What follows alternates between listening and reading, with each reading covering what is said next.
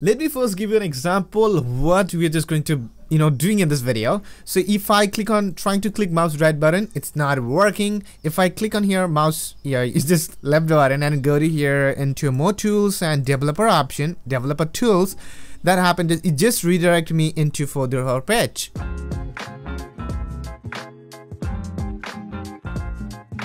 So what's up guys, today in this video I'm gonna talk about like how you can make your LMS website more secure. Because few days ago I was getting a client in Fiverr, he just talked about me, hey I just disable right click but people can do one thing. That is they can click on here this option and go to more tools like the developer tools and they can find out the codes from this inspect option.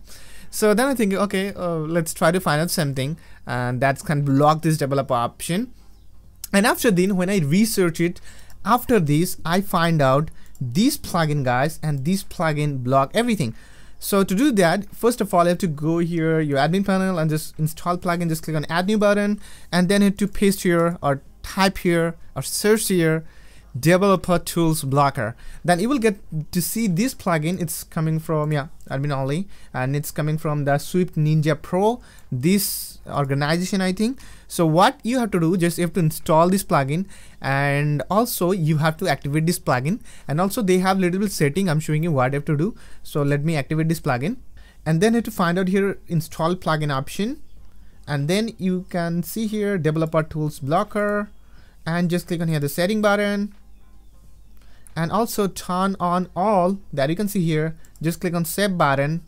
And now open this website in another browser or another private window. That is you can see the right button it's not working. And if someone trying to go the developer tools they will be redirected into the 404 page every single time it's gonna happen. And now you might thinking you do everything right? But in your case it's not working. Uh, I was first time I was a little bit confused. It's not working but it's working uh, when you're just going to be admin and admin you can do you can you can see the inspect element option. But and as you can see I'm an admin. I can click on mouse right button. I can see the inspect option. It's working the mouse right button.